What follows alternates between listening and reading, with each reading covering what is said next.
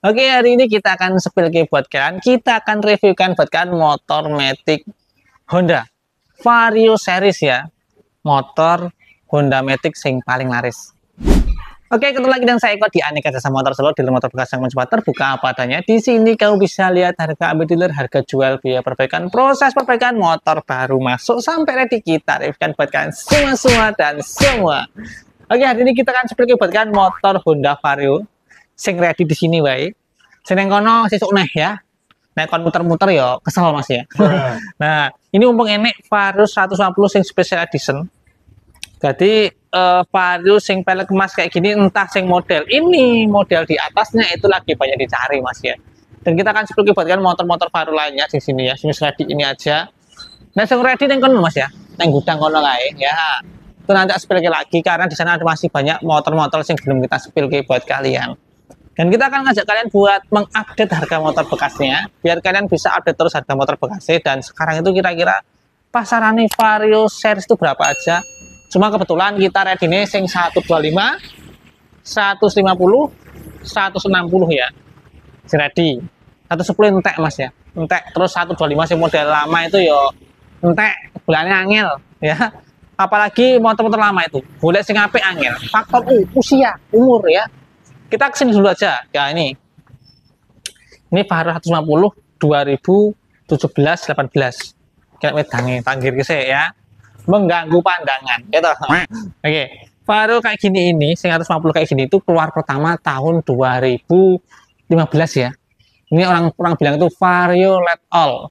LED generasi pertama untuk 125 cc karena yang model pertama itu modelnya kayak begini. Ini mas ya? Oh ya itu keluar pertama 2012 125 ya. Sampai 2014 15 awal lah ya. Dan itu nek api mas. Nek api itu masih di angka 12 13 11 12 13 nek api nek elek itu walu oleh mas. Karena biasanya itu kita banggil kayak banggil gitu jual sama-sama bakul. Nek barang elek itu nek mau walu setengah songo itu 2013 cepet cepet ya Sing penting montore wangun surat komplit pajak urip, mesin otok-otok-otok cek payu kadang-kadang ya. Ayo heran ya. Ini nek bagus, sing model uh, kayak ini mau ya. Itu nek ngambil masih di angka 9 10 11 bahkan 11 setengah bahkan pernah 12 nek untuk sing istimewa. Ning nemu ya. Kita ke light all ini. Kita tinggal punya satu unit ini model ini ya. Karena ini salah satu motor best seller. Jadi oleh milih pengen kulaan sing akeh. Karena Mbuh kenapa orang suka sekali dengan modelnya ini. Padahal menurut aku ya biasa aja ya. ya. Nah kan milih cara NMAX. Udah pilih NMAX ya, sekarang NMAX masih ya. Jadi ini al kayak gini. Dan yang paling cari itu sing peleknya mas kayak gini ya. Mas kayak gini. Ini nek ngambil 2017, 18 kayak gini itu masih di angka 16 17 jutaan. Pernah kita ngambil paling muahal, paling muahal lagi baik kemarin Pak ya itu 18 juta. Neng kilometer 7000 istimewa banget. Payune rong puluh mas. Dia aku ada wah aku ya ukur-ukur mas ya. Kalau kemarin Satria itu payu 14 payu mas ya. Kalau dibully wong saya Indonesia ya. Tapi ya nek seneng wong nek dedit seneng montore terus neknya sama tuh baru nih beli baru nggak ada tetap dibayar. Seneng dedit nek emang seneng dedit ya klipuk mas ya lakon ya. Ini vario nih ya. Untuk vario 150 itu semua uh, pakai emblem kayak gini. Kecuali yang sporty terus ini sudah pakai ISS aging stop. Dan speedonya semi digital kayak gini ya. Kita ke vario yang ini guys yang oke tunggal ini ya.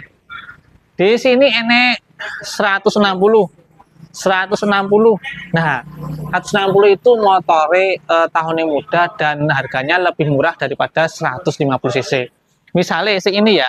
Si ini 2023 si ini 2022 nek si kayak 2021 150 cc. Si 160 cc nah gini mas ya. Ini keluar pertama 2022 harganya murah mas ya. Murah ini saya nggak sih gitu tuh ya. Kadang-kadang semua itu larang-larang nanti itu mas ya.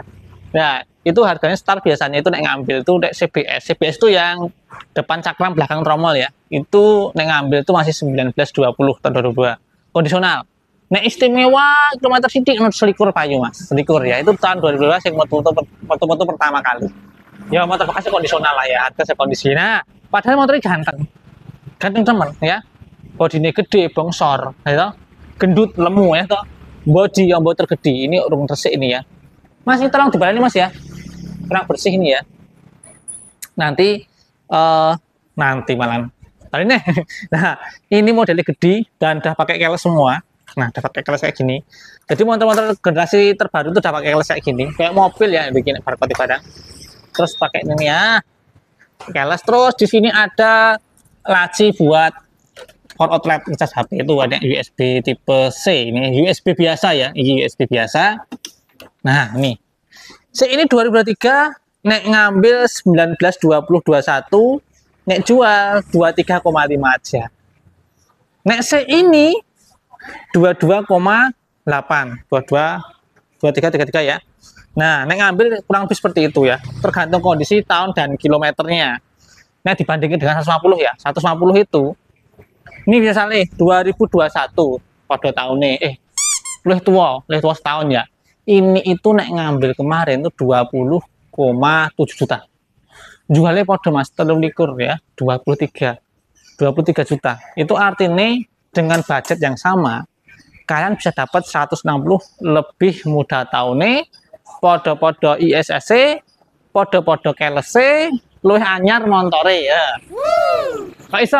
Nah, itulah keunikan uh, jual beli motor bekas Mas ya.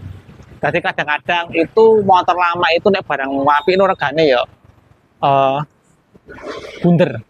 Rangota. Bener Mas. Wah, ngeri Mas regane ya. Kita ke varian lainnya. Nah, di sini ada lagi Vario 150 2016, ini 20 juta. Nek ngambil ya 17 18, 18 setengah kondisional. Nah, yang terong rong puluh kayak gini, nek ngambil ya sekitar 18, 19, 20, 21, nek istimewa kilometer rendah banget. Nek saya kayak gini yang ngambil paling-paling ya sama lah daun di. Terus 125 nih tinggal si tok til iki. Itu ya, entek Mas ya, entek Mas ya. Masih belakang. Nah, uniknya Honda itu kadang-kadang motor itu sama tahunnya terus beda ini beda seri ini yang podo modelnya Oke. Saya bayang mas, satu selawe, satu seket podo modele. Bedanya apa? Cuma di di bagian keles sama ISS tok. Nah, ini kan sudah tipe ada ISS ada CPS ya. Nah ini kita itu sebagian masih di belakang ya, belum ready. Neng Burikono itu enak 2019, ada 2021 sing ISS pakai remote itu. Itu biasa nih, naik kayak gini, kayak gini tuh, range harganya itu naik jual itu masih di atas 18 juta. Karena sak murah-murah nek barang apik lo ya sak barang apik itu masih ngambil di antara 16 17 untuk tahun 2019 itu artinya kalian nyari model kayak gini 125 ya nek barang apik di Solo dan sekitarnya itu pas sap-sap budget sekitar 18 juta. Terus ya? Jadi Vario itu satu motor Matic dari Honda yang cukup laris dan harganya uh, acek acek acek itu gak gampang turun apa leksi kayak gini Nah, sebenarnya dengan budget yang sama, sekitar 17-18, itu kalian bisa dapat motor 125 juga dari Yamaha. Lexi misalnya kayak gini. Nah, itu harga nih bisa dibilang lebih murah daripada Vario. Neng podo-podo 125 cc. Nah, tapi sayangi, wong nek ra Honda ra cinta Mas ya. Makanya saiki Honda itu regane sih ngene, Yamaha rotok ngene, Neng ada beberapa motor sing harganya ajek misalnya Yamaha Aerox kayak gini. Nah, bisa tak pilih Aerox ganti karena Aerox itu kita ada banyak di belakang. Ini jengnya tinggal dua ya. Di belakang masih ada sekitar tiga atau empat unit. Besok tak pilih lagi buat kalian semua. Nek di semua ya. Makanya jangan lupa subscribe, like, comment, dan share. Dan jangan lupa follow akun IG dan Twitter kita biar nggak ketinggalan info motor bekasnya. Oke, salam share dan buat dari Oke, salam share dan buat dari Anika Motor Solo referensi rekaman bekas se Asia Tenggara dan ayo sinau baru.